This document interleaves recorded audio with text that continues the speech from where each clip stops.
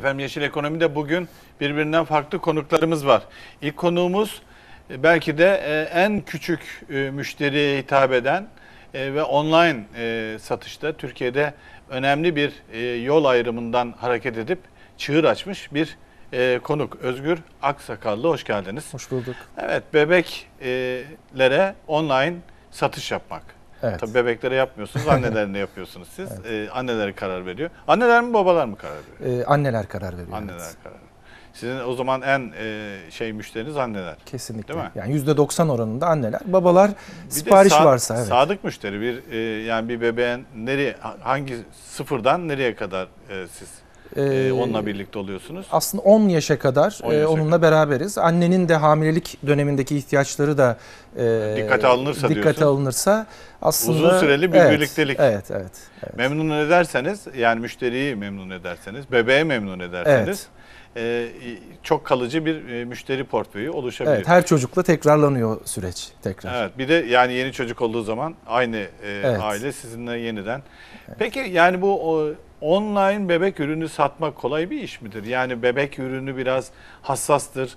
İşte anneler daha çevreye duyarlıdır. Evet. Bebeğe e, sağlığına daha duyarlıdır. İşte bir takım şeylerin duyarlılık boyutu daha yukarıdadır. Evet. E, siz öyle baktığınızda onu online satmak e, daha mı kolay, daha mı zordur? Ee, aslında online satmak daha zor Ee, ama e, netice itibariyle o zorluk beraberinde bize ekstra bir hassasiyet getiriyor. Ee, biz onlar adına e, öncesinde çok defa bunu değerlendirip, araştırıp e, ondan sonra satışa sunuyoruz. Her markayı almıyoruz. Ee, önce bize numuneleri gel- geliyor, bu ürünler değerlendiriliyor. Markalarla ilgili iletişimde e, zaten e, tüketici de bizle beraber o ürünlere hakim. Her şey var mı sizde? Her şey var evet, her şey var.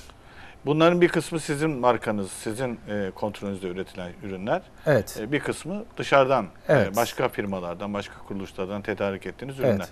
E, yüzde oranın nedir? Şöyle e, şu anda yüzde onu bize ait yüzde doksanı e, Dışarıdan tedarik. dışarıdan tedarik ediliyor ama zaten hepsinin bizim ürünlerimiz olması çok Mümkün zor. değil. Çok Çünkü değişik ürünler var. Evet ya her gün on binlerce ürün giriyor e, satışa. 15 ila 20 arası farklı markaya ait indirim giriyor e, siteye. Dolayısıyla e, biz ağırlıklı olarak tekstil kategorisinde kendi ürünlerimizi Varsınız. yoğunlaştırıyoruz. Diğer kategorileri işin uzmanlarından tedarik ediyoruz. Bebek ürünlerinde tekstilde varsınız siz. Ama Evet. mesela elektrik prizine e, kontrol etme ürününü üretmek çok ayrı bir Evet. spesifik bir iş yani. Evet, evet. Değil mi? O elektrik Güvenlik prizi ekipmanları evet. parmağını sokar çocuklar. Onu Evet. İçgüdüsel olarak direkt gidip parmağını sokar. Aynen öyle evet. onun kontrol ne yapıyorsunuz? Ona bir şey mi koyuyorsunuz? Ee, oraya özel aparatlar var. Aparatlar Prizin var. içine yerleştiriliyor. Ee, ve siz kullanmak istediğinizde çevirerek onu kullanabiliyorsunuz ama çocuk gittiğinde herhangi bir şekilde orada Görmüyor. tehlikeye maruz kalmıyor evet. Böyle daha ilginç ürünler var mı? Mesela böyle yani Valla çok şey var. bizim çok aradığımız bir üründü. O zamanlar yoktu herhalde bu. Ya onunla beraber o güvenlik ekipmanlarının tabii devamı da var. Masaların köşelerine işte bebekler çekmecelere çok ilgi gösterirler. Ellerini sıkıştırmasınlar diye onlara özel kilitler vesaire. Hani e, çok çok fazla ürün çok çeşidi ilginç var. evet. ürünler var diyorsun. Var var evet. Bunları mesela internet sitesinde görebiliyor musunuz? Evet evet. E, Girdiğinizde- ne, nasıl arıyorsun? İlginç ürünler diye mi arıyorsun? bunu? Hayır Yok. bizde girdiğinizde çok basittir, çok kullanıcı dostu bir sistemdir. Ee, marka, indirim oranı ve o markaya ait ürünlerle ilgili kısa bir bilgi aşağı doğru indiğinizde hepsini görürsünüz. İstediğinizin içeriğine girip ilgili e, metinleri okursunuz, görsellerine, fiyatlarına bakıp çok kolay alışveriş yapabilirsiniz. Ekonomik tarafı da var mı sizden alışveriş yapmanın? En önemli tarafı o. Öyle mi? Evet. Yani bizde Daha uygun fiyat. kesinlikle öyle. Çünkü eminsiniz. evet, evet, evet. Yani biz zaten Bir, bir- öyle olmasa diyorsun e, herkes araştırıyordur herhalde değil tabii mi? ya internette bunu araştırmak çok çok daha kolay. Baktığınızda hemen fiyatları çok kolay İnternette ve normal mağazada ikisinin arasında fiyat farkı da var. değil mi? Var evet. Ya çünkü bizim e, sabit maliyetlerimiz e, bir perakende mağazaya göre birazcık daha aşağıda ve onun dışında biz konsept olarak üçer günlük özel kampanyalar yapıyoruz. Dolayısıyla tedarikçiler de bize özel fiyatlar veriyor ve üç gün içinde yüksek rakamlı satışlar elde ediliyor. Hem müşteri kazanıyor hem e, firma kazanıyor. Şimdi e, bu bebek ürünlerinde e, diğer ürünlere göre daha standartlar e, herhalde söz konusu. Yani Hı hı. hem doğaya hem çevreye hem bebeğe evet. e, dönük evet. olarak. E, bir standart arayışınız oluyor mu mesela sizde sizin ürettiklerinizde Evet. ve dışarıdan aldıklarınızda e, daha böyle e, işte şu standartlara uyanları satarız biz Kesinlikle gibi böyle öyle. Yani- standartlar oluyor mu? oluyor. Şöyle bizim kendi ürünlerimizde zaten Türkiye dünyada en önemli e, markalara üretim yapan bir ülke. O konuda çok şanslıyız. Dolayısıyla iyi üreticilerle zaten o standartları özümsemiş üreticilerle çalışıyoruz. Kendi ürünlerimizde hiçbir problem yok. Onun dışında da bize her gün onlarca e, ürünlerimizi butik bebede satabilir miyiz talebi geliyor. Onların içinden de e, müşterimizi memnun edecek o kalite standartlarına uygun olanları e, eleyip değerlendirip onları satışa sunuyoruz. O konuda biz de en az anneler kadar hassasız onu çok rahatlıkla söyleyebilirim. Çünkü, Çünkü, yani eğer öyle yani bir de dünya da hassas herhalde Evet, bu konuda. evet, Hassaslaşıyor değil mi kesinlikle giderek öyle. yani? öyle olmak zorunda ama zaten. Yani çocuklar bizim en değerli varlıklarımız. Onların küçücük bir zarar görmesi hepimizi üzer. E, ebeveyn olarak düşündüğünüzde bu etki çok daha fazla. Dolayısıyla o çok hassas olduğumuz bir konu. Kaliteli ve doğru ürünleri Doğru bebede sunuyoruz. Evet. Çıkar. Peki normal e, mağazaya geçiş için bir adımınız var. Evet. Evet. E, O neden? Ee, bu ay sonu itibariyle ilk fiziki mağazamızı açıyoruz. Ee, onun iki sebebi var.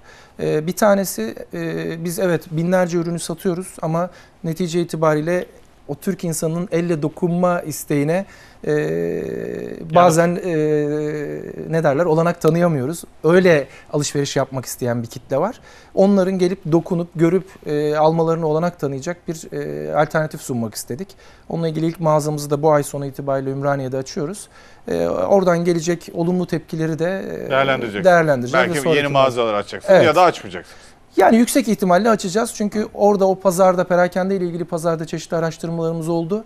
E, pozitif netice alacağımızı düşünüyoruz orada. Böyle spesifik e, online siteler ya da e, online ticaret siteleri daha başarılı oluyor. Yani mesela e, hayvanla kedi köpek maması satan Evet. site E, ya da işte ne bileyim daha böyle iş e, giysileri satan e, site gibi böyle Evet. spesifik e, alanda e, açılan sitelerin yani diğerleri de başarılı ama bunlar daha başarılı olabiliyorlar. Evet. Daha çabuk isim yapabiliyorlar.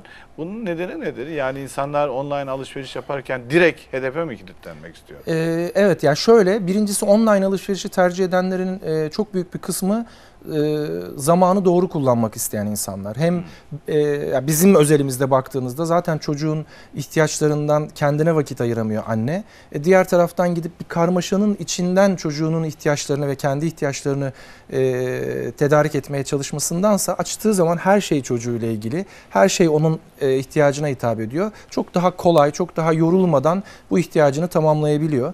Eğer çalışıyorsa da zaten işten ayırdığı kısa zaman öğlen arasında sabah geldiğinde bu ihtiyacını görüyor. Yine ona derli toplu bir şekilde aklına gelen gelmeyen her şeyi çok kolay bir şekilde sunabiliyoruz. Aslında o en önemli farkı ve bir diğeri de şu o konuda uzmanlaşmış olduğumuz için hizmet kalitesi çok daha yüksek. İhtiyaç e, ihtiyaca yönelik ürün yelpazesi çok daha geniş. Aslında çok daha doğru bir hizmet. Hani e, az önce size de söyledim aslında yayından önce. Bir e, restorana gittiğinizde her şey var ama döner yemek için dönerciye gidiyoruz. Çünkü o kesinlikle daha iyi yapıyordur, daha uzmandır, daha doğrudur diye düşünüyoruz. Aslında benzer bir bakış açısı. Yani e, doğru ürünü bizde bulabiliyor. Evet. Diğerlerinde işte bir sürü ürünün arasında e, ara- aramak durumunda. İşte Arasa da bizimki kadar çeşidi bulamaz. çeşidi Evet, bulamıyor. yani. Çünkü onlarda başka çeşitler de. Evet. Bizde her gün 20'ye yakın sadece anne ve bebekle Online ilgili marka nasıl çıkıyor. gidiyor Türkiye'de? Efendim? Nasıl gidiyor online E, ticaret? şöyle e, her yıl ortalama yani e-ticaret Amerika'nın falan çok gerisindeyiz ama değil mi? e, Amerika'nın ve Avrupa'nın gerisindeyiz. Yani şöyle bir şey söyleyeyim size. Pazar her yıl %35-40 oranında büyüyor. Müthiş. E, ama e, toplam perakende pazarı içinde e-ticaretin payı Türkiye'de şu anda 1.3. Bu oran İngiltere'de %9, %10,5. E, Amerika'da %7,5. İşte e, Almanya'da, Fransa'da %6'larda. E, Dolayısıyla hani biz henüz onların gelişmekte olan bir ülke olarak henüz onların çok gerisindeyiz. Yani potansiyel çok çok daha fazla şu anda. Aslında internet kullanımı vesaire fena değil Türkiye'de. Evet. E, işte sosyal medyayı da fena kullanmıyoruz.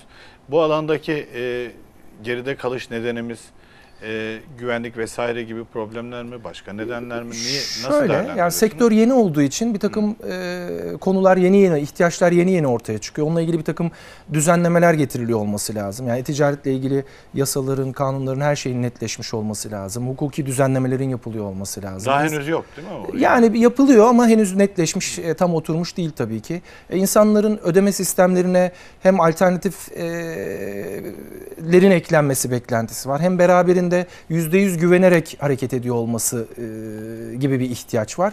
Hani bütün işte lojistik e, kargo ağının e, tam istenilen seviyede, istenilen kalitede hizmet veriyor olması var. E, Birçok Bir etken sürü var. neden evet. var. Evet. Bu nedenlerin daha yeni yeni Evet. e, geliştiğini. Evet. Yani ama bu %30 büyüme e, İngiltere'de %30 büyümüyordu Evet. herhalde. Yani orada mi? daha önde, daha giderek evet. aradaki Aynen. makas ya da fark kapanıyor herhalde. Evet, evet. Şimdi e, bu şeye yani e, online alışveriş e, noktasında bir sıkıntı hukuki dedim biraz önce. hı. Şöyle bir sıkıntı söyleniyor. O doğru mudur, yanlış mıdır? Test edelim Hı hı. sana soralım. E, ya özellikle yurt dışı alışverişlerde e, işte vergilendirme de siz dezavantajlı konuma düşüyorsunuz diye bir iddia var.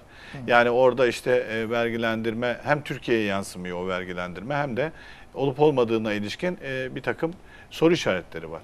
E, Dolayısıyla siz vergi konusunda dezavantajlı duruma e, düşüyorsunuz ya da haksız rekabet oluyor şeklinde bir iddia var. Bunu nasıl değerlendiriyorsunuz? Tam olarak ya biz bizim yurt dışına Yani satışımız mı? Sizin yurt dışına değil, yurt dışından alışveriş yapıyorum ben. Türkiye, Tüketici olarak. Evet, Evet. hı hı. Türkiye Cumhuriyeti Hı hı. yurttaşıyım. Yurt dışından bir siteden alışveriş yapıyorum. E, oradaki e, vergi olayı Türkiye Cumhuriyeti'nin Evet, evet. maliyesinin kasasına Doğru. girmiyor. Doğru evet. E, böyle bir itiraz var. Bu nereye doğru gidiyor? Yani bu çözülecek mi? Nasıl Ya olacak? orada aslında şöyle bir düzenleme yapıldı e, yaklaşık iki yıl önce yanılmıyorsam. E, yurt dışından yaptığınız alışverişlerde yılda iki defa 6 ayda bir e, 100 dolar gibi bir limitiniz var. Onun altında alışveriş yaptığınızda vergilendirme yapılmıyor. Üstü e, Türkiye Cumhuriyeti tarafından vergilendiriliyor. Dolayısıyla aslında Nasıl ama vergilendirilebilir ki? yani gümrükten geldiğinde o ürünün üzerinde faturası var. Orada vergisi alınarak e, tüket buradaki müşteriden vergisi alınarak ülkeye girişi yapılıyor. Yani sistem olarak mümkün mü o? Şu an böyle yapılıyor evet. Böyle yapılıyor. Uygulanıyor şu anda. Böyle yapılması gerekiyor ya da öyle diyor. Yo yapılıyor şu an. Yapılıyor. Benim yaptığım alışverişlerde de böyle. Evet. Size yılda iki defa o limitin altında alışveriş olanağı sunuyor. Sunuyor. Üzerindekini de vergilendiriyor. Evet. Siz yurt dışına e, yurt dışında e, ürün satıyorsunuz. Özellikle Ee, Azerbaycan'da. evet. Orada nasıl durum? Ya orada şöyle hani biz direkt Türkiye'deki site üzerinden değil Azerbaycan'da Ha, ayrı bir ofisimiz var, ayrı Tamam. bir şirketimiz var. Butikbebe.az domainiyle buradaki com oradaki az farklı bir domainle oradaki tüketicimize tüketicilerimize hizmet veriyoruz. Onun başlangıcı da şu aslında biz uluslararası platforma geçmekle ilgili bir takım planlamalar yaparken fark ettik ki bizim zaten Türkiye'deki e, üyelerimizin arasında 5000'den fazla Azeri var ve buradan Aa. bizden alışveriş yapıp bir şekilde ülkelerine e, ulaştırmaya çalışıyorlar. O bizim için önemli bir kriter oldu. E, Değerlendirdik, pazarda araştırma yaptık, potansiyeli değerlendirdik ve bir ay kadar önce de butikbebe noktayı, bu- butikbebe.az'yi faaliyete geçirdik e, Nasıl Azerbaycan'da. gidiyor? Hiç fena değil. Beklediğimizin üzerinde e, olumlu bir Performans ta- e, talep var. E, her geçen günde birazcık daha yukarı doğru Öyle gidiyor. Kafkasya'da, Gürcistan vesaire falan de- devam etmeyi düşünüyor musun? Ee, yani uzun dönemde şöyle bir planımız var. Ee, Azerbaycan'ın bildiğiniz gibi %50'ye yakını Türkiye'yi daha fazla yakın hisseder ama bir kısmı da Rusça'ya, Rus diline e, daha yatkındır. Biz iki platformu, iki dili de bir arada sunuyoruz onlara. Dolayısıyla o Rusça ile ilgili deneyimlerimizi de elde ettikten sonra e, işte Kazakistan ve benzeri e, bu Türkiye Cumhuriyetler tarafına gitmek gibi fikrimiz var ama zaman ne gösterir onu oturup Ee, değerlendireceğiz. yani dolayısıyla belki yurt dışına açılan ilk online e, alışveriş sitelerinden biri olma gibi bir hedef. var. Evet yani bununla ilgili çeşitli daha önce e, bizim sektörde Yine aynı bebek. e, Bebekte yok hayır. Ha. Bebekte ilk olacağız evet Ha. ama bebek dışında e, çeşitli siteler bu tip e, yatırımlar yaptı. Başarılı olanlar oldu, olmayanlar oldu. Ama biz hani Türkiye'nin buradaki kıymetini birazcık değerlendirmek istiyoruz. Çünkü biz ciddi bir e, üretici ülkeyiz. E, konumumuz e, bu iş için çok uygun. Bütün operasyonu buradan yürüterek çevre e, ülkelerdeki birçok e-ticaret sitesi Türkiye'den tedarik yapıyor. Biz buradaki konumumuzu mümkün olduğunca iyi değerlendirip böyle uluslararası bir operasyona e, imza atmak istiyoruz evet. Yani Türkiye'nin üretimdeki e, avantajını e, bu e-ticaret siteleri ya da Evet. online ticaret siteleri vasıtasıyla dünyaya açmak. Evet, evet. Yani aslında bu devletin politikası olması gerekmez mi böyle bir şeyde? Var mı destek var mı? Var yani bununla ilgili çeşitli e, teşvikler, e, yardımcı olmak adına çeşitli faaliyetler var. E, hani bunun e-ticaretle ilgili işte söylediğim gibi benzer düzenlemeler yapıldıktan sonra birazcık daha oturup birazcık daha kullanılabilir hale İhracat gelecektir. sonuçta bu bir, bir nevi. Evet, evet, evet ama hani iş online olunca e, kurallar çok değişebiliyor. E, çünkü hani işin operasyonu, mağazacılığı, lojistiği her şeyi farklılaşıyor. Dolayısıyla ayrı şekilde değerlendirme ihtiyacı çıkabiliyor ortaya. Ama yani bu bu alanda yani Türkiye mesela bu, eğer bu ticaret gelişiyorsa dünyada da bu trend gelişiyor. Evet. çünkü. Yani baktığınızda e, normal ticaretten daha hızlı e, büyüme trendinde Kesinlikle. bu ticaret. E, siz dünya ticaretindeki payınızı arttırmak istiyorsanız bu alanda olmak durumundasınız. Kesinlikle. kesinlikle. E, bu alanda olanların bir şekilde desteklenmesi, e, Evet. teşvik edilmesi, e, onların önünün açılması Evet. gerekiyor. Ya da yenilerinin eklenmesi gerekiyor. Hı hı. E, bu noktada üniversitelerin, kamunun e, önemli e, projelerin arkasında e, durmak gibi bir hedefi olması lazım. Bunu Evet. çok görmüyoruz ama herhalde değil mi? E, ya şu an hissetmedik ama e, Hissetmek isteriz diyorsun. me- çok memnun oluruz evet. Evet. Çok Yani onu oluruz. hissetmesi lazım ki e, Türkiye'nin bu alan önemli bir alan, Evet. yeni bir alan. Evet. E, bir sürü alanda biz tren kaçırma konusunda herhalde dünyada en fazla e, tren kaçıran ülkelerden biriyiz. Bu alanda hazır e, fırsat kapının önünde duruyorken Evet. bir an önce elini çabuk tutması gerekiyor. Türkiye'nin hele de böyle e, genç girişimcileri varken bu alanda çok e, girişimci var aslında. Çok genç girişimci Evet, var evet doğru. evet. Yani herkes bu alanı fırsat olarak görüyor. Bazıları e, başarılı olamıyor. Onlara ne diyorsunuz başarılı olamayanlara? Yani, Yani üzmesinler kendini. Ee, başarılı aslında maalesef başarılı olamayanların oranı çok daha yüksek. O da e, aslında e, doğru analiz etmemekle ilgili. Bu gerçekten e-ticaret çok kolay bir alan değil. E, nefesinizin yetiyor olması lazım. Stratejinizin hem pazarlama hem satın almayla hem lojistikle hem yazılımla ilgili her türlü stratejinizin çok net ve uzun dönemli oluyor olması lazım. Ee, en büyük yapılan hata da e, bunlar yapılmadan yola çıkıyor yola çıkılıyor olması ve belli bir yere geldikten sonra da nefesinin tükenip vazgeçiyor olması. E, Bir de şöyle bir düşünce var. Hani ben bu siteyi alırım bir yere getiririm sonra yabancı bir yatırımcıya veririm Satarım. para kazanırım diye. Var ama böyle çok örnek. Ya böyle çok örnek var ama yüzdeye baktığınızda binde birdir o örnekler mi? öyle, Hmm. söyleyeyim. Yani baktığınızda yabancı yatırımcı da e, bunun değerlendirmesini yapıyor. Bu işin uzmanı, büyük firmalar, büyük fonlar vesaire. Onlar da parayı saçmıyorlar yani. Evet yani o duygudan eğer birisi bu işi yapmak istiyorsa o duygudan bağımsız olarak gerçekten bu işin başarılı olacağına inanıp hareket ediyor olması lazım. O zaman zaten o destekler, yatırımcılar hepsi o başarıya e, geleceklerdir. O da aslında hedefine ulaşmış olacak ama sadece o duyguyla bu işi yapmak çok doğru değil. Şimdi veri e, ya da işte araştırmaya, analize dayalı bu işe girme meselesi. Bu çok önemli. Burada belki bu alandaki diğer girişimcilere de bir takım mesajlar hı. verebilirsin. Bir, e, bu yani bebek işine girerken analiz yaptınız Evet. siz. Araştırma yaptınız, Evet. pazar araştırması yaptınız. Bu alanda bir boşluk olduğunu Evet. gördünüz, girdiniz. Aynı şekilde e, Azerbaycan'a girerken de Evet. Müşteri portföyüne baktınız. Nereden bize ulaşıyorlar, nereden bize erişiyorlar baktınız. Azerbaycan'dan çok erişen var. Hı hı. Oradan başlayalım. Belki ikinci adımınızda yine ikinci en çok size erişen bir başka ülkeden devam edeceksiniz. Ya da bu Rusça e, hı. siteye kim nereden ne Hı hı. kadar erişiyor ona bakarak devam edeceksiniz. Yani e, analiz yapmadan Hı hı. e, bir takım bilgilere erişmeden ya bu iş nasıl olsa iyidir e, Hı hı. mantığıyla ya da işte e, genel verilere bakarak Hı hı. yani nedir genel veriler işte yüzde otuz büyüyen bir sektör Evet. değil mi yani e, hiçbir şey yapmasan yüzde otuz büyüyen sektörde var olursun yani aslında Evet. baktığın zaman Evet. E, ama iş öyle değil Evet. E, ne mesaj vermek istersin herkese başka Ee, insanlara Ya şöyle, e, e-ticaret çok gelişecek. E, daha da önü açık. Özellikle az önce belirttiğimiz gibi gelişmiş ülkelerle kıyasladığımızda potansiyel, en az 10 katı potansiyel var. Bunu çok net söyleyebilirim. E, mutlaka içindeki girişimcilik e, ruhlarını beslesinler. Ama e, iki kere düşünüp gerçekten bu işin e, detaylarına iyice hakim olup ondan sonra başlasınlar. 6 ay, 1 yıl hiç para kazanmadan ben bu işi ne kadar götürebilirim diye bütçelerine, e, finanslarına bakarak ilerlesinler ve gerçekten inansınlar. E, o tereddüt çünkü o acaba acaba tereddütü hep negatif etkiler. Bunları yaptıklarında, e, o işi anlayıp inandıklarında başarılı olacaklarını düşünüyorum. veriler var mı peki bu konuda yani siz Var, mesela analiz var. ya da analiz yapanlar var mı? Var yani Ha. özellikle internetle haşır neşir olduğu için zaten bu datalara uluslararası alanda çok daha fazla ulaşıyor. Biz ülke olarak bu alanda birazcık zayıfız ama örnek veriyorum hani biz girdiğimizde Türkiye'deki doğum oranı belli. Türkiye'deki işte e, anne babanın çocuğa yaklaşımı belli. Hani hep gıda işi gıda işi ölmez derler ama hani baktığınızda bebek gıdadan da önce gelir. Bir ebeveyn olarak e, çocuğunuzun ihtiyacını kendi yiyeceğinizin e, arkasında Önünde tutamazsınız. Mutlaka önünde tutarsınız. E, baktığınızda çocuğun ihtiyaçları haftalık olarak değişiyor, aylık olarak değişiyor. Çocuk büyüdükçe, çocuk e, bebeklikten çıktıktan sonra yetişkinliğe gittikçe bunlar azalıyor. E, bütün bunları bir araya getirdiğinizde, sektördeki diğer rakiplere baktığınızda aslında pozitif bir tablo ortaya çıkıyor. Hani bu söylediğim çok da matematiksel verilere, datalara girmeye gerek yok. Herkes için geçerli işte internet kullanım oranları, kredi kartı alışverişinin internette kullanım oranları, işte ödeme sistemleriyle ilgili gelişmeler vesaire bunlar bütün hepimizi etkiliyor ama işin detayında o kategoriyi doğru seçmeleri de zaten e, önemli bir aşamayı Biraz da bildiğin oluyor. bir kategori ya da bilen birilerinin olduğu bir kategoriyi seçmek lazım. Evet, evet. Yani, Yani benim perakende ile ilgili e, diğer reklamcılık geçmişimden dolayı perakende ile ilgili deneyimim çok fazlaydı. Dolayısıyla orada bir takım kriterleri bir araya getirmem daha kolay oldu. E, ama e, mutlaka her girişimcinin de uzmanı olduğu, ilgi duyduğu e, bir takım alanlar vardır. Onları değerlendirmelerini tavsiye ederim.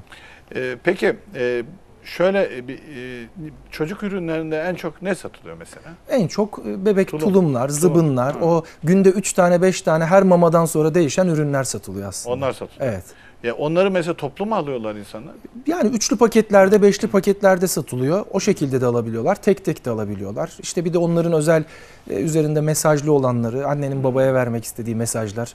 İşte ben dizi izliyorum, altımı sen temizle anne, baba filan gibi böyle hani esprili yaklaşımlar vesaire e, o tip ürünler. Yani orada da inovatif olmak lazım değil Kesinlikle, mi çocuk ürünü, bebek ürünlerinde? Yani e, ben hatırlıyorum böyle çok işte e, bebek e, altı ıslandığında e, ses çıkartan ürünler ya da işte bilmem e, o tür şeyler üzerine çalışıyor. E, E, e, sürekli yeni be- ürünler geliyor evet. Evet. Sürekli ya da yeni. işte e, çocuğun morali bozuk olduğu zaman işte ağlayan tulum vesaire filan değil mi? Öyle bir şeyler oluyor.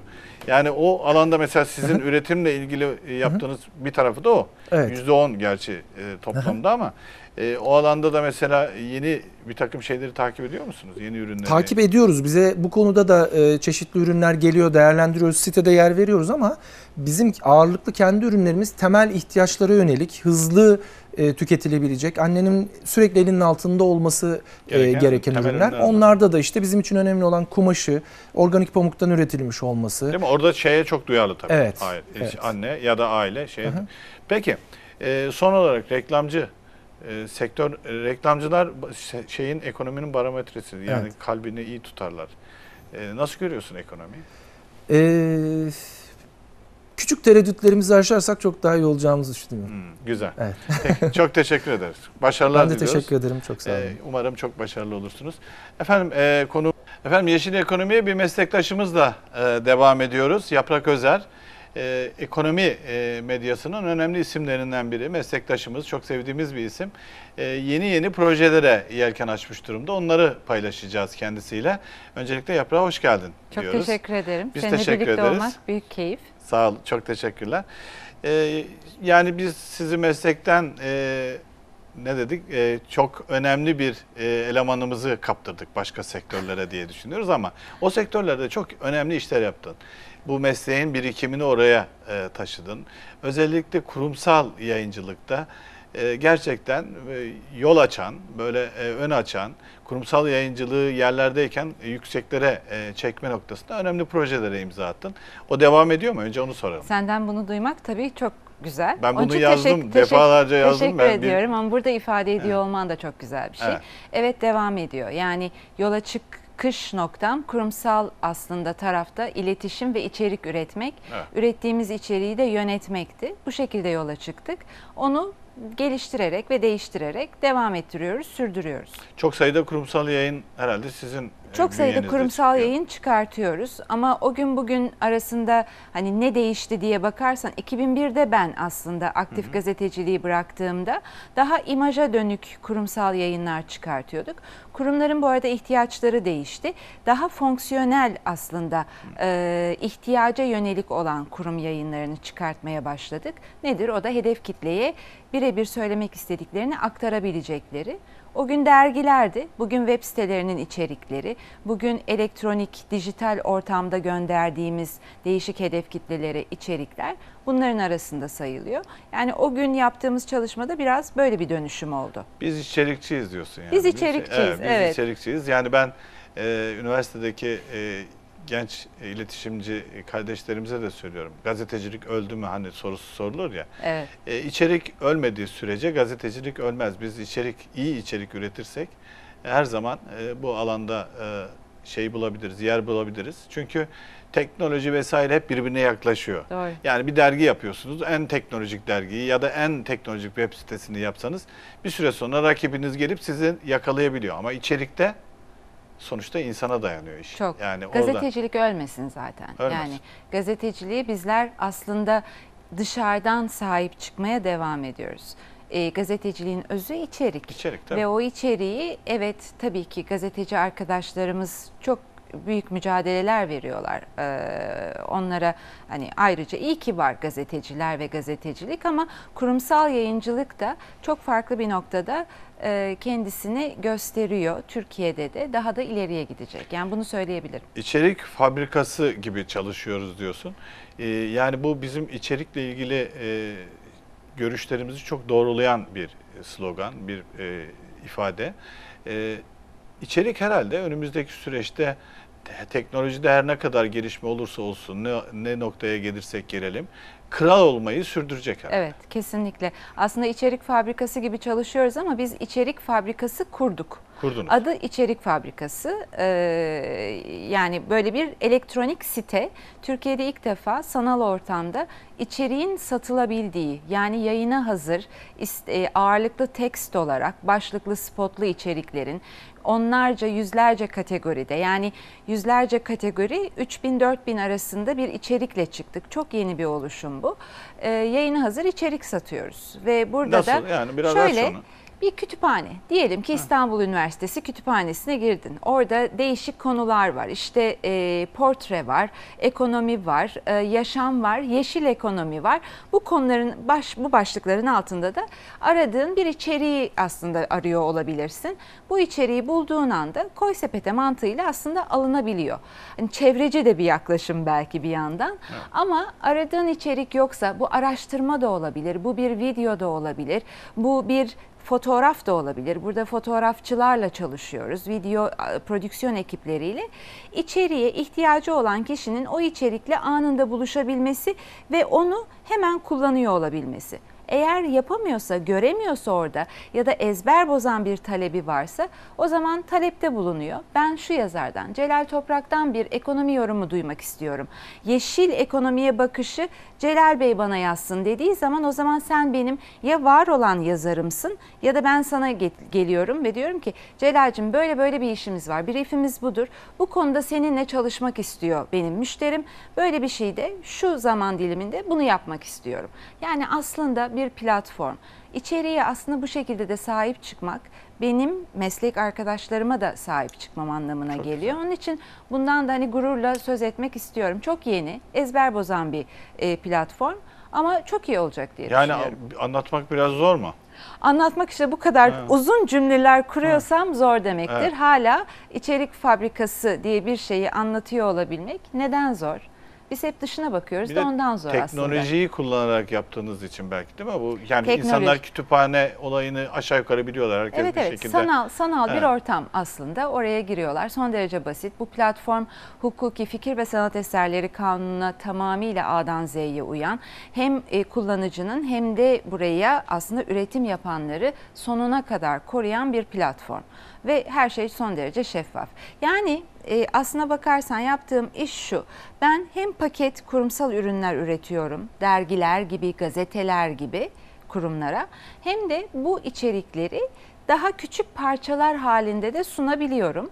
Bu da farklı bir platform. Yani bir konuşma metninin hazırlanmasına ön Evet, e, hazırlık yapma maksadıyla evet.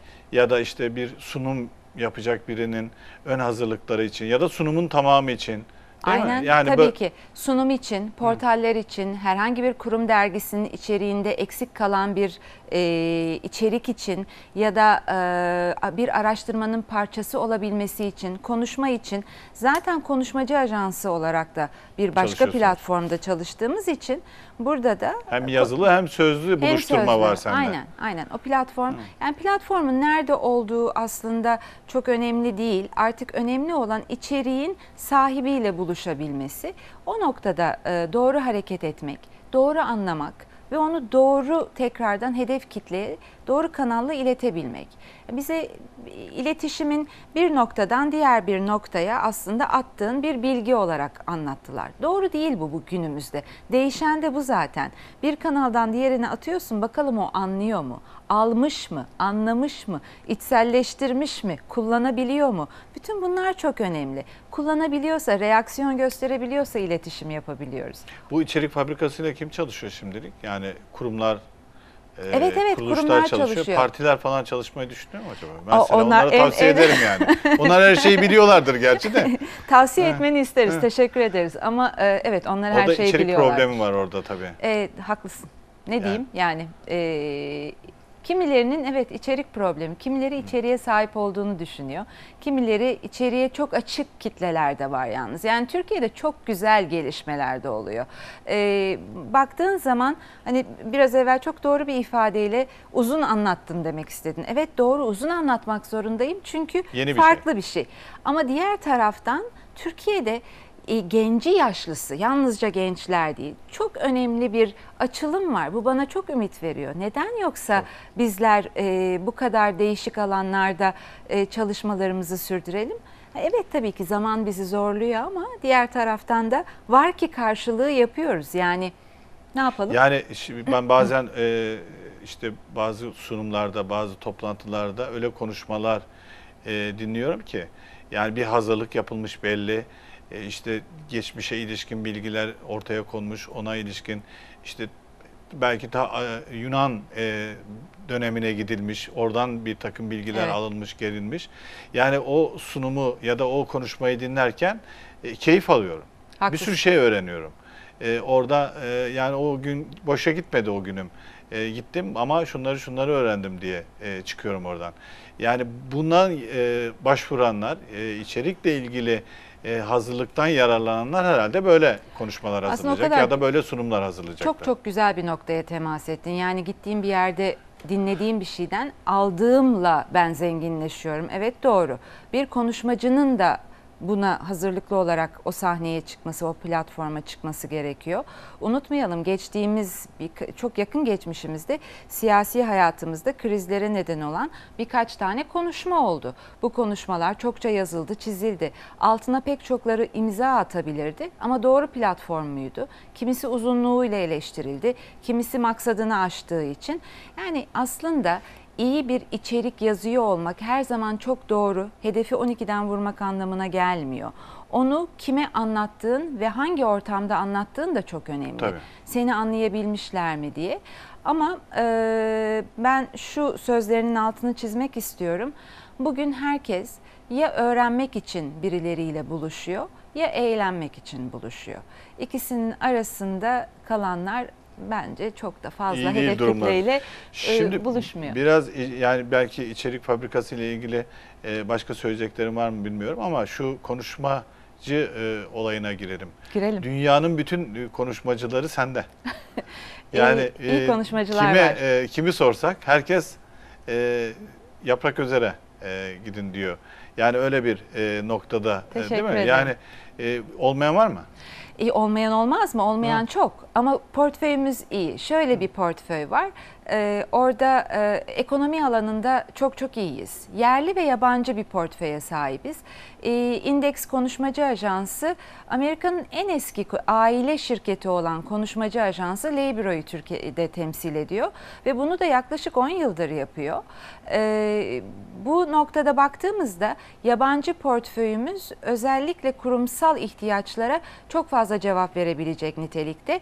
Hemen şunu söyleyeyim. Nobel'li mesela e, konuşmacılarımız şu anda son 4 Nobel'li, 5 Nobel'li bizde ekonomide. Bu yılın son e, sağlık alanında tıp Nobel'i alan da yine bizde ama diğerleri değersiz mi? Hayır. Çok değişik alanlarda kurumsal ihtiyaca hitap ediyoruz. Yerli konuşmacılarımız da aynı şekilde. Yerli konuşmacılarda da birbirinden değerli ve ünlü isimler var.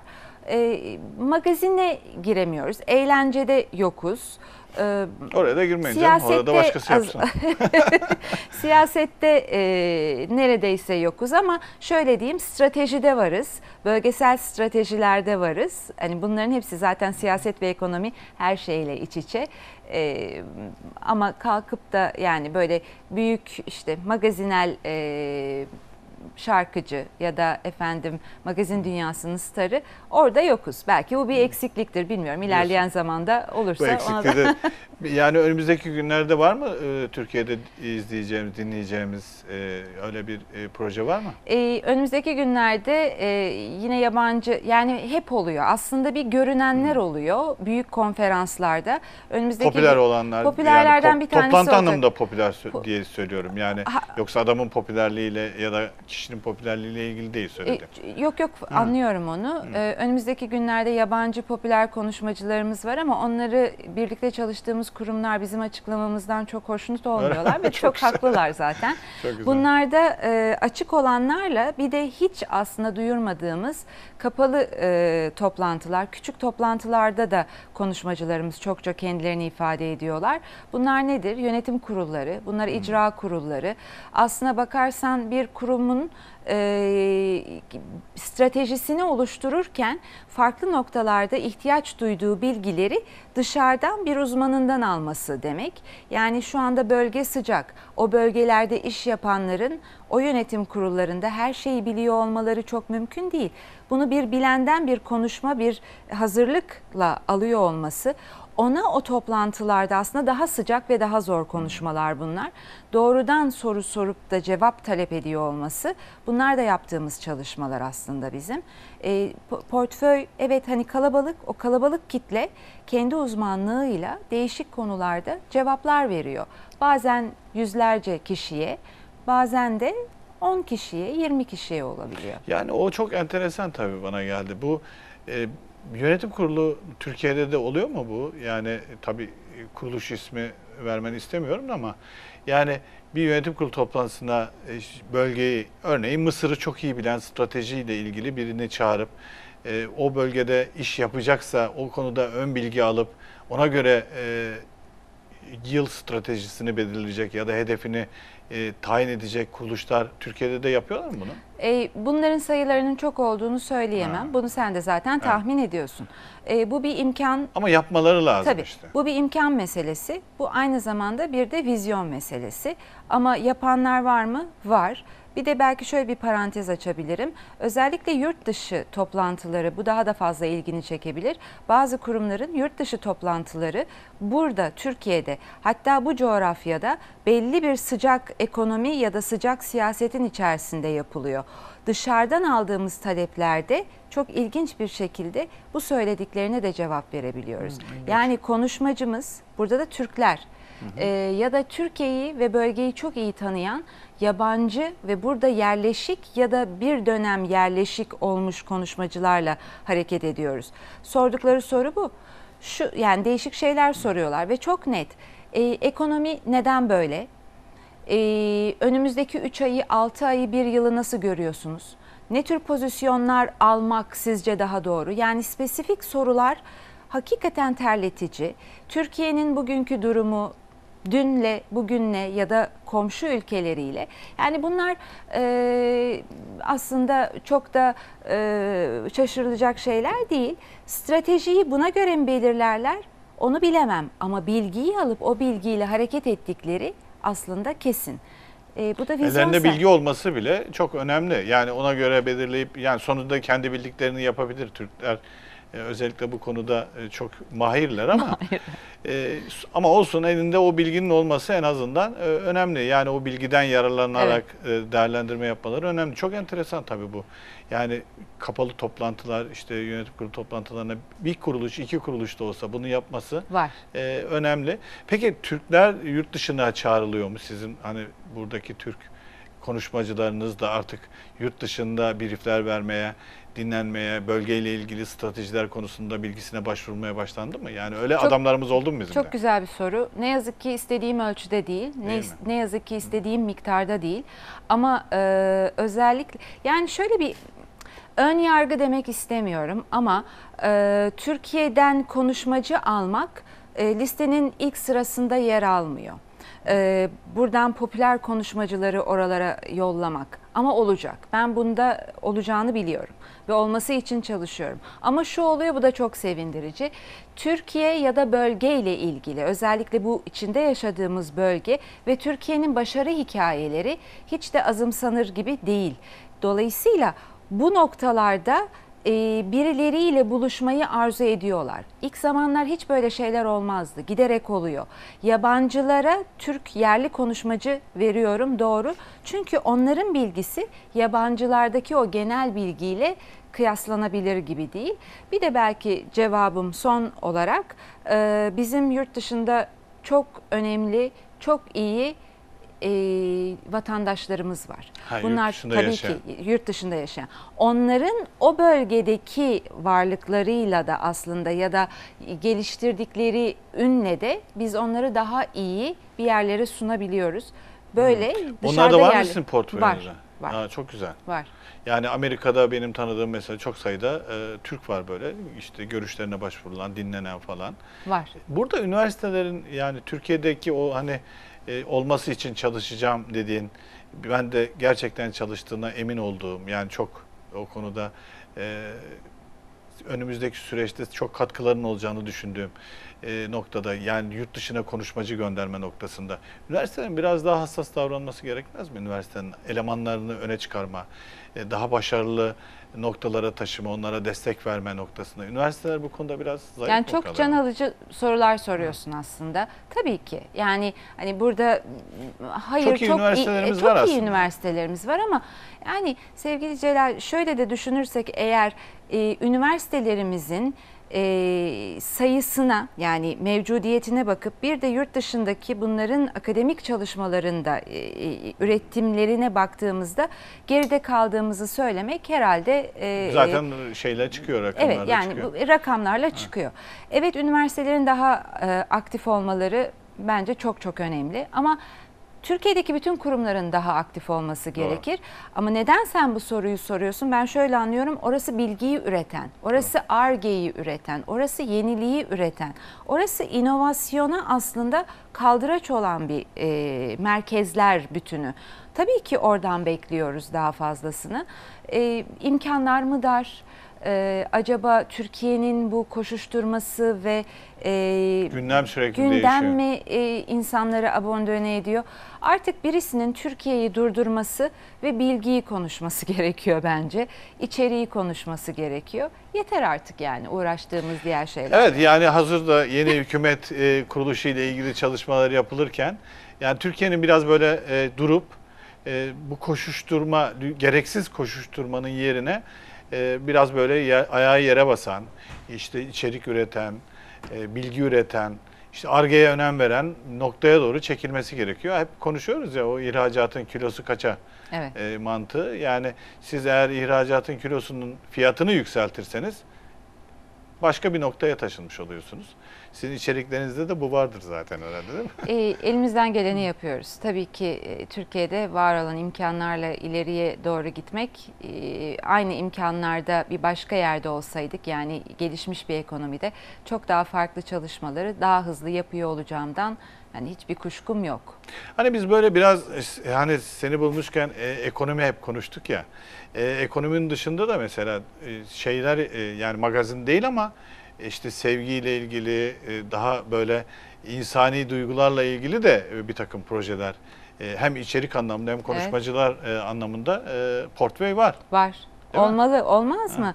Yani e, geçmişte yani. çok Hep ekonomi ekonomi, Ha, ekonomi hep ne yani? Hep, hep ekonomi olur mu? Aslında hayat o kadar renkli ki ekonomiyi üreten kadınlar. Yani kadınlarla ilgili, kadınların aslında en güzel olduğu alan olan aşkla ilgili, sevgiyle ilgili, aileyle ilgili dünya kadar içerik üretmek mümkün ve zaten bunların hepsini teşvik ediyor olmak. Gençlikle ilgili. Gençlik e, bence he- hepimiz gençlik için e, büyük büyük laflar ediyoruz ama onlar için çok fazla şey yapmıyoruz. Yine bu da toplumun renklerinden biri.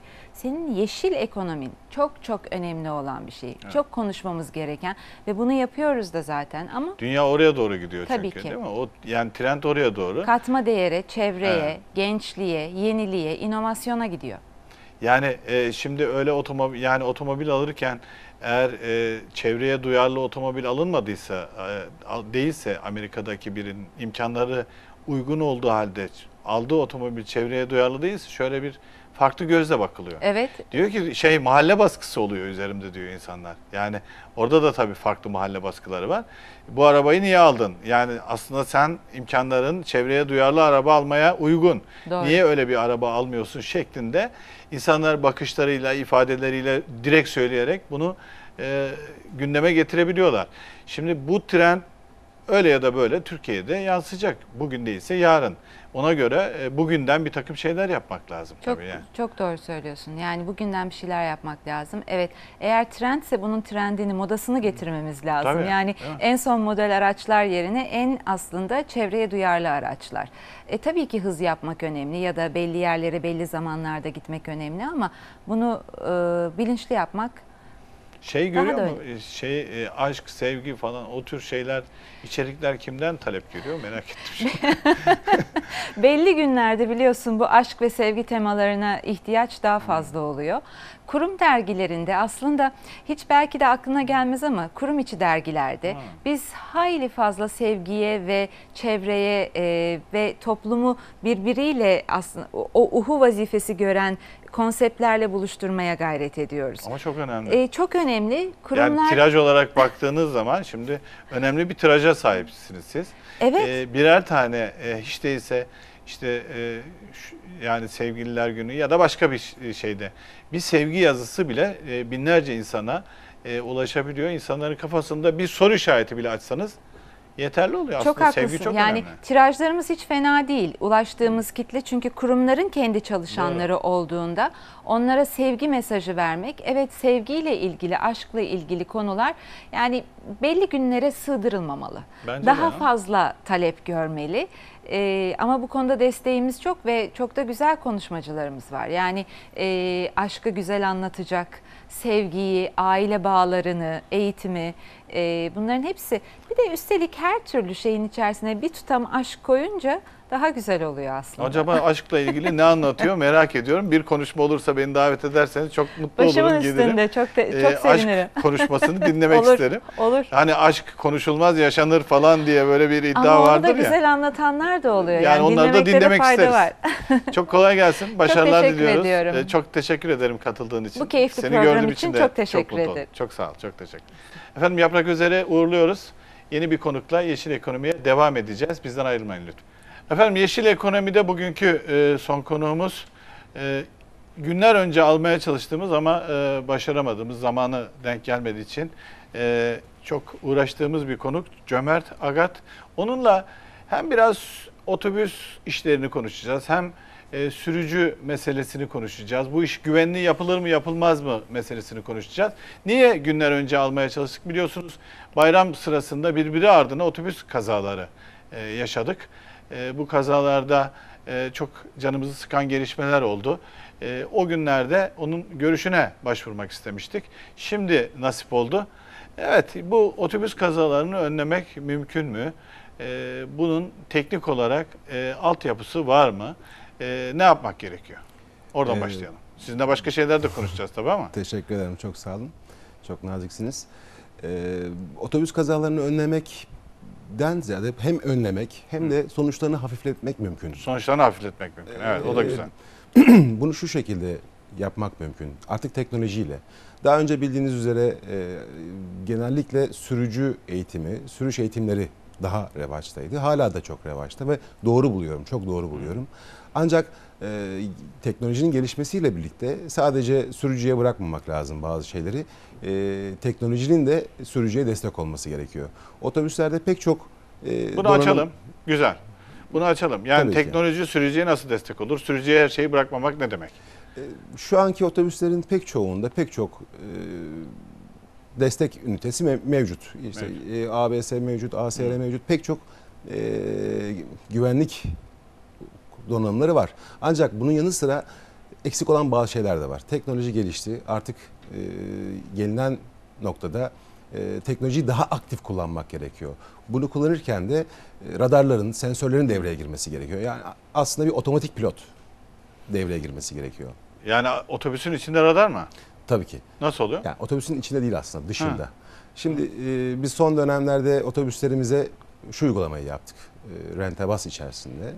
E, otobüslerimizin çevresine radarlar, radar sensörleri döşedik. Aa, E, birkaç tane kamera kullandık bunlarla birlikte. Bayağı da ciddi araştırma yaptık. Nasıl yapabiliriz, nasıl edebiliriz? Çünkü pek çok teknoloji araştırıyorsunuz, ediyorsunuz ama doğru teknoloji bulmak lazım.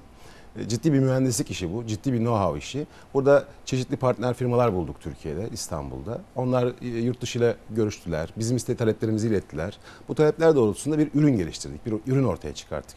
E, kendi otobüslerimiz için özellikle ve inşallah bütün bütün otobüslerde de uygulanacak diye umut ediyorum yakın zamanda. E, merak ettim ürünü. Hemen anlatayım ürünü. Ee, ürün şöyle çalışıyor. Ürün e, kameralar onu e, önünde Destekliyor. destekliyor ve radarlar var etrafında. Ürün e, 50 metreye kadar önündeki trafiği kontrol ediyor. Radarlarla kör noktaları kontrol ediyor. Hepsini bir, birleştiriyor ve vizyon halinde dönüştürüp bilgiyi e, donanıma aktarıyor. Donanım da gerekli yerde araç Frene veya- mi basıyor donanım? Evet. Frene basıyor veya sürücünün fren kabiliyetini daha da güçlendirmek adına ona yardımcı oluyor. Ne, ne diyor? Yani konuşuyor mu? Yok. Konuşmuyor, hayır. Ha, yani konuş- siz e, yani frene basma saniyeleri vardır. İşte kaza anında e, anında frene basarsınız ama o milisaniyelerle ölçülen dönemde sizin basma şiddetinizi arttırabiliyor bu ürünler. Hatalı sollama falan. Hatalı sollamaya karşı e, şerit ihlallerini, kesik yol çizgilerinde eğer en çok yaşanan problem şu e, sürücünün yorgunluktan ötürü içinin geçmesi, uyuması, uykuya dalması çok ciddi bir problem bu. E, bunu önlemek adına da şerit ihlallerinde şeritleri takip ediyor. Gece görüşleri var aynı zamanda bu radarların. E, şeritleri takip edip geçtiği zaman eğer bir kayma varsa otobüste hemen sürücüyü uyarıyor bir sinyal sesiyle. E, dokunsal, işitsel, görsel olarak pek çok Otomatik şekilde. pilot gibi. Otomatik yardımcı şoför diyelim Ha, aslında. Evet, yardım- yardımcı yani şoför. e, bir süre sonra karayollarında da herhalde bu zaten otomatik pilot tabii tabii uygulamasına yasası geçecek çıktı yani. bunun. Çok kısa bir süre içerisinde. e, Bu, bütün bu sizin otobüsler- geliştirdiğiniz bir ürün. Biz e, evet biz metro olarak böyle bir çalışma yaptık. Güzel. Ne yapabiliriz, ne, ne edebiliriz dedik. Kendi otobüslerimizde ne- neler yapabiliriz, neler, neler Uyguluyor musunuz şimdi Tabii bunu? uyguluyoruz tabii. Nasıl başarılı mı? Çok çok başarılı. Bize göre çok başarılı. Yani siz mesela o e, yani şöyle e, bu bütün bu şeylerin sonra verilerini Tabii alıp ve- değerlendirme şansınız da oluyor mu? Yani içerisinde mobil DVR sistemi de var. Ya mobil DVR Arkadaş sayesinde kaptan sen böyle tabii yapmışsın. tabii tabii tabii tabii tabii. tabii. Kötü kaptan için. Ka- çünkü içeriği de Ben kaptanı da yıllar önce bir bayram seyahatinde e, bir e, kent e, turizm şirketinin otobüsüne denk gelmiştim. E, böyle giderken falan yolda biraz işte sohbet ediyoruz kaptanla. E, biraz hızlı gitmiyor muyuz? E, gerçekten hızlı gidiyor. E, bir hızlı biraz hızlı gitmiyor muyuz kaptan demiştim. Önümde ışık gördüm mü dayanamıyorum da diye bir cevap vermiştim. Şimdi yani böyle e, kaptanlarımız da var maalesef. Artık Yani aslında şurada hemen sizi düzelteyim. Bu yok artık. Artık yok. Niye yok? Çünkü artık e, otobüsler üretim bandından çıkarken e, verilen kanunlara uygun şekilde çıkıyor. Yani e, şehir içinde trafikte 50 gidecekse 55 yapamıyor kaptan. Öyle mi? Tabii ki. Ya artık teknoloji bu şekilde. Bütün e, otobüs, Nasıl denk- üretici- ayarlıyorsunuz? otobüs üreticileri bu şekilde üretiyor otobüslerini artık. Yani, yani siz 90'ı geçemiyorsunuz. Geçtiğiniz zaman zaman araç takip sistemleri var. Pek çok teknoloji var. Hemen siz merkeze bu birimlere bilgi, bilgiler geliyor. Bir tek Derliyoruz hatalı ve- sollama ve e, içinin geçmesi biraz önce söylediğiniz Evet, uyku- sorununa henüz çözüm bulamadınız. Uyaran sistemler de geliştirebilirsiniz belki. Yani böyle biraz içi geçti mi tak tak böyle bir robotla e, kendine gel kaptan diye.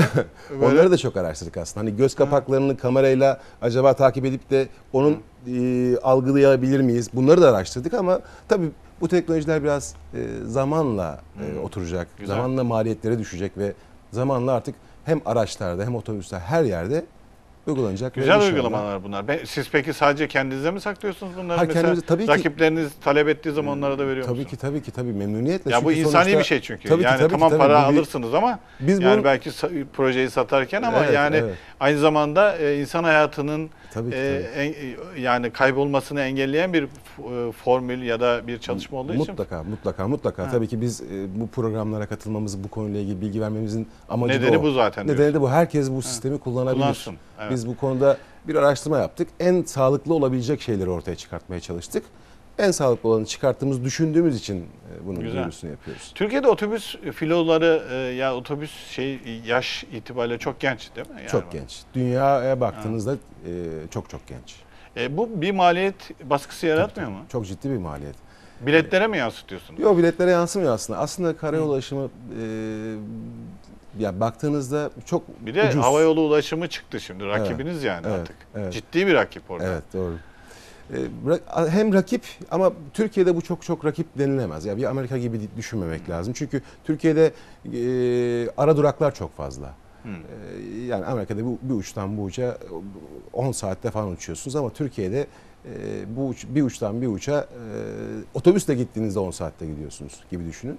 E, ara durak çok fazla. Şimdi uçağın çok yere gitmediği yerler var işte. E, veya ne bileyim Ara yerlere gidiyor. Evet ve ya da işte gelmesi, bir de beklemesi, otobüsler çok inmesi. konforlu oldu herhalde. Tabii ki otobüsler çok konforlu. Yani ikram veriyorsunuz, multimedya ekranlar Tek kişilik var. koltuklar var, televizyon, film koltuk var. seyrediyorsunuz. Evet, istediğiniz filmi izleyebiliyorsunuz, istediğiniz müziği izleyebiliyorsunuz.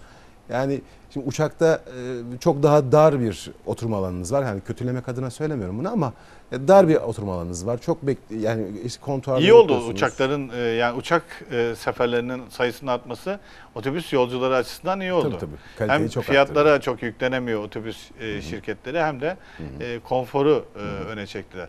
Siz aynı zamanda bir de otobüs kiralama işi yapıyorsunuz değil mi? Evet, Yani otobüs- o, o nasıl oluyor? Yani otobüs kiralayan e, böyle bireysel olarak otobüs kiralama. mı? Bireysel bireysel Ya ben kurumsal şeye firmalar otobüs gideceğim işte. Safranbolu'ya gideceğim bir otobüse ihtiyacım var. Hı hı, hı. E, 40 kişilik bir ekibim var ya da Hı hı, arkadaş hı. grubum var. Onlarla beraber sizi mi arıyorum o zaman? Evet, bizi internetten ulaşıyorsunuz. Ha. Bizim e, Yok internet sizi arıyorum derken onu söylüyorum zaten. internetten de ulaşabiliyorsunuz. Bizi de arayabilirsiniz.